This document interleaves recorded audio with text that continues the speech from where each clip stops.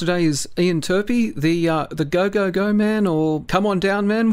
how, do, how do you like to be announced these days, Ian? I don't care, mate. Call me anything. The reason we're, we're talking to you today, Ian, is about the late great Yvonne Barrett and maybe Yeah. some of the stories or some of the the uh, times you spent with Yvonne because you obviously worked with her on the Go show. Yes. What are some of the? When did you first meet her? I, I've got a feeling we did a, a, a play at Her Majesty's, well, we toured, called Bye Bye Birdie, a musical. And Pat Carroll auditioned, I, I think she did the Melbourne, uh, anyway, she did quite a bit of theatre when she was a young girl. And I think Yvonne Barrett auditioned for that, uh, Bye Bye Birdie. That's way back in, God, 1960, I think, 60, 61. That's when I met her. Then I then I met her only four years later at um, at uh, the Go Show. Good singer, good chick, and the highlight was going to Vietnam. We were the first Australian government-sponsored tour in 1965, Christmas 65. Uh, Pat Carroll, Yvonne Barrett, Tommy Hanlon Jr. and myself went to Vietnam, and I was the bloody band. One guitar, and the girls did about 40 minutes. Then Tommy and I, and I was always on, and then Tommy would do his magic act, and I did a few rock and roll songs in between. And it was very fun days, mate. Very, very great days. They really were.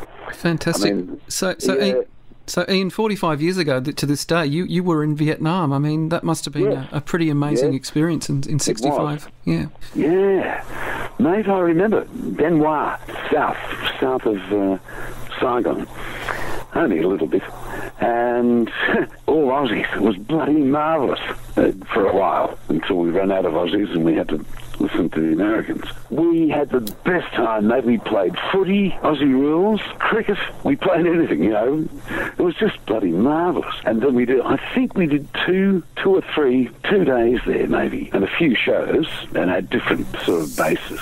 But they, was, they were in the thick of things. They were fighting. Bien Hoa, only three or four miles away, was the front, or the front. I was, it's the bottom, really. I always look at it that way. Pretty hairy times, mate. Sure. Um, the thing with that trip, um, Ian, it's it's pretty well documented on the Australian Memorial War Memorial site because there's um, Ah. there's a number of photos of, of you and Yvonne and um, you know performing to the troops, and there's one really funny photo of you where you're getting inoculated before you're heading off, and you. Yeah, go on. But Was um, I smiling or was I whinging? I you, I think you're handling it in the usual Turpie way there. So Yeah, as you do when people stick needles into you. yeah, I bet. But Very funny. I'm trying to remember the colonel's name who took us, and I can't. Sure, sure, that's cool. But I mean, not, it must have been an interesting time because Vietnam would have been fresh in the Australian public's mind, and Oh, hell, it was very new. yeah, You know, and, and yeah. did you have any trepidations about going at all? Like, were you scared? No, no, not at that age. God, what year was that? 65, yeah. 65. I think I just turned 22. Yeah, well, I was born in 43 years.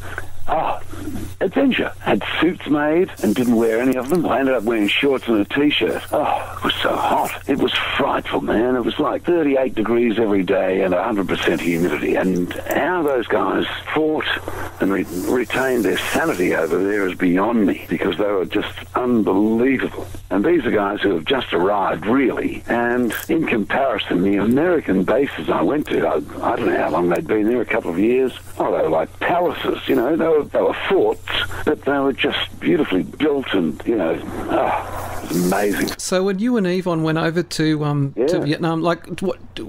How many songs did you sing, and, and what was your role? Because you said you played the guitar and stuff. I mean, what what was sort of the, the setup with that trip? Well, I had no idea, and when we got there, the first shows we did, naturally, they're all outdoors, whether you like it or not. It's hard. It's hard to describe what what it was like, man. It was just, it was marvelous. We went to see a Bob Hope show being recorded, and he, it, I reckon it took ten hours for him to get a, a one-hour show because it's all done for him. Hmm. And he had, uh, you know, like a 20 piece band. Oh, he had Jane Russell or someone like of that ilk, Diana Dors or someone, as a special guest and all. And he's working in front of about 10,000 people. The poor guys exhausted watching because he kept cutting, you know, they'd, whoops, cut, wrong, well, let's do it this way. And it just, it was just so boring. Whereas we went out in front of maybe you could have a thousand. Just go out and say, I was the band. That was it. I just played guitar. The girls went out and opened together, and then uh, Yvonne would do, you know, three, then Pat three, then they'd do another duet and so on. Then I'd sing a couple of rock songs, and then you didn't have a break. Introduced Tommy, who was a joy. And I know it's Yvonne's day. Oh, love her. Beautiful chick. she had one comment when we started doing the American bass. They couldn't. Here's a girl who'd been in showbiz for, you know, most of her teenage life and was very good. Good dancer, good singer, and the spunk. And he, uh, the Yanks would say, "Hey, babe, what's your day job? You know, what do you really do?" And she got the shits, and she said, oh, "I flog the rags and coals," something like that. In fact, that was, I'm sure that's what she said. And they'd, and they'd just go, "All right." we'd all go and have a drink later, and Tommy and I'd be talking about it. We'd, we'd be on our own, and Pat Carroll and Yvonne are drinking at the at the bars. We we did all the bars. Uh, we did the uh, officers' mess, sergeants, and the EMs, the enlisted men's clubs. Hmm. So you always ended up with the uh, the officers' mess to begin with. And Tommy and I'd be just standing there, and there'd be ten or twenty blokes standing around the girls, and we never got spoken to hardly, you know. Hmm the, the, the, guys were just starving for white, attractive, very attractive chicks of sure. how old? Sure. Uh, 20? And the way entertainment's depicted in the Vietnam War, like you look at Apocalypse Now and, and you see that, you know, the troops, that was the American version, but you get this sense of it was just out of hand and cr- like a crazy type thing. In your experience, how was you know how was Yvonne Barrett accepted by the by the audience? Like, did they go? Oh. Were they respectful, or I mean? yes, yes. I mean, most times there, there was one guy. He was only a little guy, but he was quite good looking and obviously more older than Yvonne. And I didn't see it happen. I, I knew that she was in the officer's mess, and then I didn't see her again for a few minutes.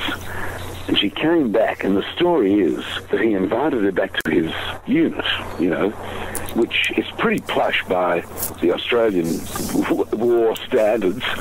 You know, we're looking at a, a beautiful unit. But he's probably been there a couple of years, and there wasn't mm. much fighting there. Sure. Apparently, he had a couch that he pulled a button or a lever, and the uh, couch went back into a like a sofa bed. and he thought he was. He took Olivia. Uh, Olivia. Whoops. Look at the time. He took Yvonne back to um, to his unit and tried to put the word in her, and she just, I think she slapped his face. She's very good. She was wonderful.